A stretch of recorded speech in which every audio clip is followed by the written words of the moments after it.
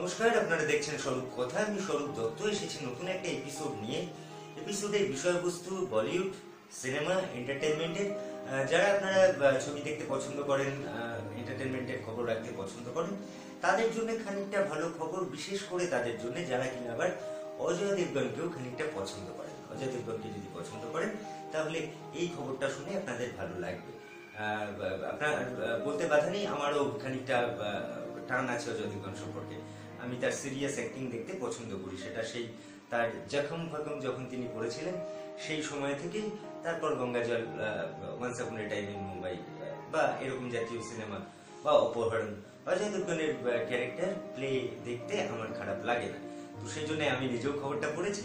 আর পড়ার পর মনে হচ্ছে আমি এটা জানতে পেরেছি, আপনাদের স্বরূপ কথার মাধ্যমে আপনাদের সঙ্গে শেয়ার করি। যদি আপনাদের কেউ অজয় দেবগনের ফ্যান হন, ভক্ত হন, অনুরাগী হন বা তাকে শুধুই ভালো লাগে, আপনার পছন্দ করেন, তাহলে আপনারও ভালো লাগবে তাকে। তো ওম রাউত, পরিচালক ওম রাউত, তার একটি ছবি আসছে, আদি পুরুষ, যদি আপনারা সিনেমার খবর টবরও রাখেন, তাহলে এই খবর আপনারা জানেন। তো আদি পুরুষের খবর আমিও পড়ি, আমারও চোখে আসে সোশ্যাল মিডিয়া স্ক্রল করতে গেলেই দেখা যায়। তো সেখানে দেখেছিলাম আদি পুরুষে নাকি ইতিমধ্যেই শোনা যাচ্ছিল যে এই ছবিতে অভিনয় করবেন প্রভাস। এবার প্রভাস এখন বাহুবলী দুর্লতে বলতে বাধা নেই, বাহুবলী ছবি রিলিজ করার আগে থেকেই তো আমরা প্রভাসকে চিনি অনেকেই, আমি তো পার্সোনালি চিনতাম।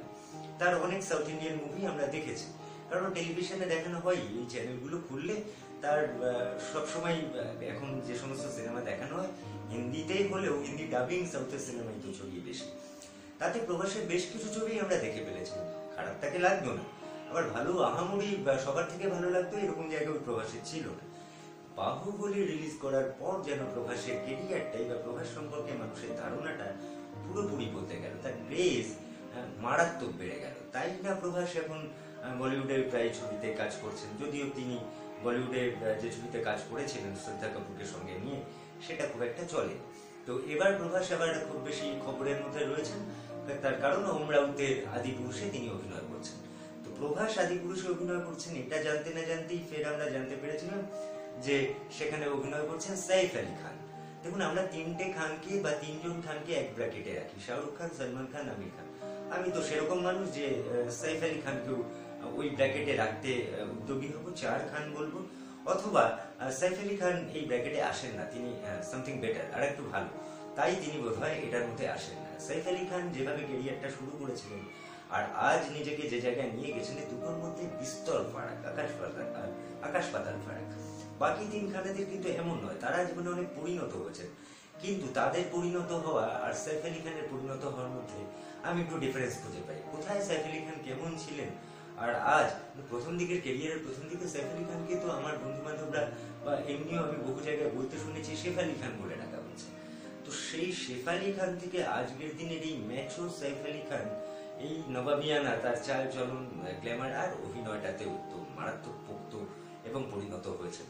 ভালো লাগে। সাইফ আলী খানের এই এত বছরের কেরিয়ারটায় তিনি নিজেকে ঘষে মেজে ঘষে মেজে আজ কোথায় নিয়ে গেছেন এটা দেখতে ভালো লাগে তার মানে আদি পুরুষে প্রভাসকে দেখা যাবে সাইফ আলী খানকে দেখা যাবে। এবার শুনতে পারলাম অজয় দেবগান, তিনিও নাকি আদি পুরুষে থাকছেন। এবং যে সে চরিত্রে নয়, আপনারা খেয়াল করলে দেখবেন শিব ঠাকুর নিয়ে অজয় দেবগান নিজেই একটি ছবি করেছিলেন শিবায়। তো শিব ঠাকুরের চরিত্রেই এবার অজয় দেবগন ফের ক্যারেক্টার প্লে করবেন। আদি পুরুষে। আমি জানি না, শিব ঠাকুর সম্পর্কে অজয় দেবগনের আলাদা করে ফ্যাসিনেশন আছে কিনা। তিনি কি খুব শিব ভক্ত? যেমন থাকেন না অনেকে মা কালীর ভক্ত, অনেকে মা দুর্গার ভক্ত, অনেকে গণেশ ঠাকুরের ভক্ত। তো হতে পারে, অজয় দেবগন খুব শিব ঠাকুরের ভক্ত, তাই ওমরা ডিরেক্টর ওটা জেনে বুঝেই তাকে বলেছেন, না, তোমাকে এবার শিবের চরিত্র অভিনয় করাবো তুমি শিবকে নিয়ে শিবের, শিবকে নিয়ে, শিবের নাম নিয়ে একটি ছবি ইতিমধ্যে করেছেন। তো দেখব আমরা যে অজয় দেবগনকে শিব ঠাকুরের চরিত্রে দেখতে কেমন লাগে।